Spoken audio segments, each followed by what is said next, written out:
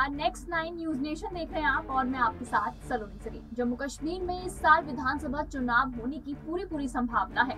इससे पहले चुनाव आयोग ने बड़ा ऐलान किया है। जम्मू कश्मीर के मुख्य निर्वाचन अधिकारी हृदेश कुमार ने कहा कि जो गैर कश्मीरी लोग राज्य में रह रहे हैं, वे अपना नाम वोटर लिस्ट में शामिल कराकर वोट डाल सकते हैं। इसके लिए उन्होंने निवास प्रमाण पत्र की ज़रूरत नहीं है। इतना ही नहीं, उन्होंने ये भी कहा कि जम्मू कश्मीर में सुरक्षा के लिए तैनात सुरक्षा बलों के जवान भी इस बार वोटर लिस्ट में अपना नाम शामिल करा सकते हैं। हिंदेश कुमार ने बताया कि जम्मू कश्मीर में इस बार करीब 25 लाख नए वोटरों का नाम वोटर लिस्ट में शामिल होने की उम्मीद है। साथ ही साथ उन्होंने ये भी बताया कि कर्मचारी, छात्र, मजदूर और कोई भी गैर स्थानीय जो कश्मीर में रह रहा है, वे अपना नाम वोटर लिस्ट में शामिल करा सकता है। उन्होंने बताया कि वोटर लिस्ट में नाम शामिल कराने के लिए स्थानीय निवासी प्रमाण पत्र की ज़रूरत नहीं है।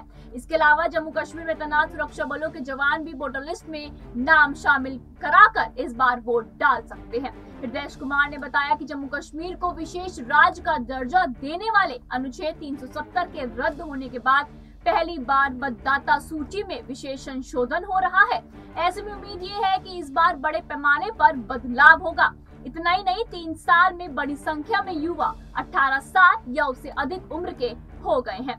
तो वहीं उन्होंने बताया कि 15 सितंबर से वोटर लिस्ट में नाम शामिल करने की प्रक्रिया शुरू हो जाएगी। ये प्रक्रिया 25 अक्टूबर तक चलेगी। पीडीपी चीफ और पूर्व सीएम महबूबा मुफ्ती ने इस मामले में केंद्र सरकार पर निशाना साधा है। उन्होंने ट्वीट कर कहा कि जम्मू कश्मीर में चुनावों को स्थगित करने संबंधी भारत सरकार का फैसला पहले बीजेपी को लाभ पहुँचाने और अब गैर स्थानीय लोगों को वोट देने की अनुमति देने का फैसला चुनाव परिमाणों को प्रभावित करता है। असली उद्देश्य स्थानीय लोगों को शक्तिहीन करके जम्मू कश्मीर पर शासन जारी रखना है। अब देखने वाली बात ये होगी कि इस बार कब तक आके जम्मू कश्मीर में विधानसभा चुनाव हो पाते हैं। तब तक ले आप जुड़े रहे हमारे साथ। धन्यवाद।